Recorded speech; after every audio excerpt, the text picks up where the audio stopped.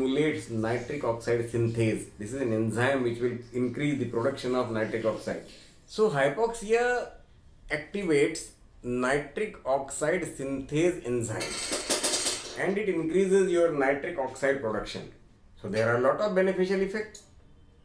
In prostate patients, it will relax the urethral sphincter in a better way. In patients of the coronary artery, it will dilate the coronary artery in a better way.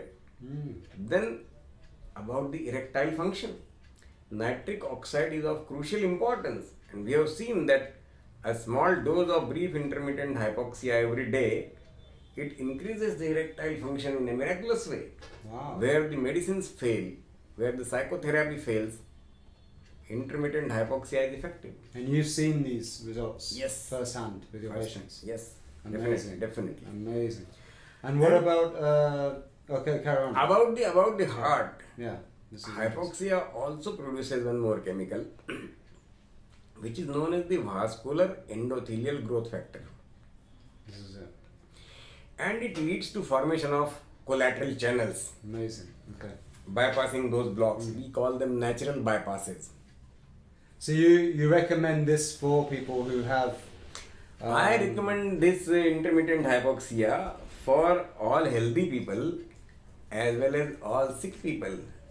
Those who have coronary artery disease, those, those who have renal failure, those who have uh, osteoarthritis of the knees, they will regenerate their cartilages. Wow. And you've seen this with your patients? This Yes, of course. Yes, of course. This is amazing. This is so fascinating.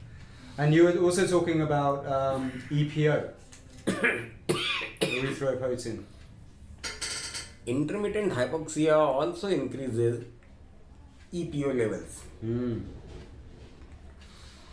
That is the reason why those patients who have chronic renal failure and who require to take periodically erythropoietin injections, if they do this pranayama, they will not require. It has been studied in medical research that the failing kidneys also have a capacity to secrete erythropoietin. It is only that their relationship, I mean the level of hemoglobin and the level of erythropoietin, that relationship gets altered. And that is the reason why these chronic renal failure patients tend to have a slightly lower hemoglobin. Mm. If you expose them to hypoxia, they will have more erythropoietin and they will increase their hemoglobin without the need to take injections.